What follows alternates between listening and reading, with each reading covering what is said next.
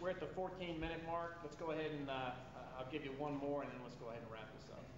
Yesterday at approximately 10:15 a.m. Eastern Standard Time, a Marine KC-130 uh, transport aircraft crashed into a mountain near Shamsi, Pakistan, killing all seven crew members on board.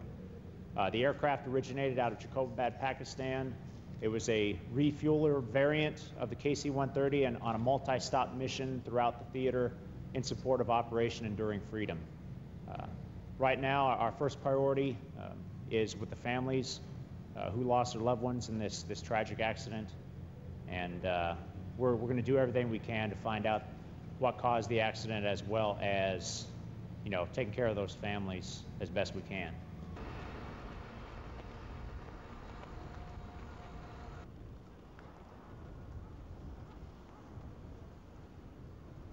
The only thing I can say is bless their families. I feel kind of bad that some of my comrades have fallen.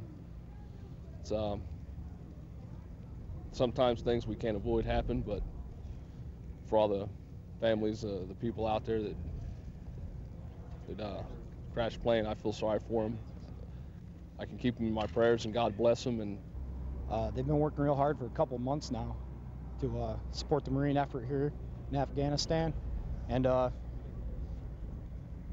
it's really unfortunate, but so we knew there was going to be a price to pay when we came here. That's about it.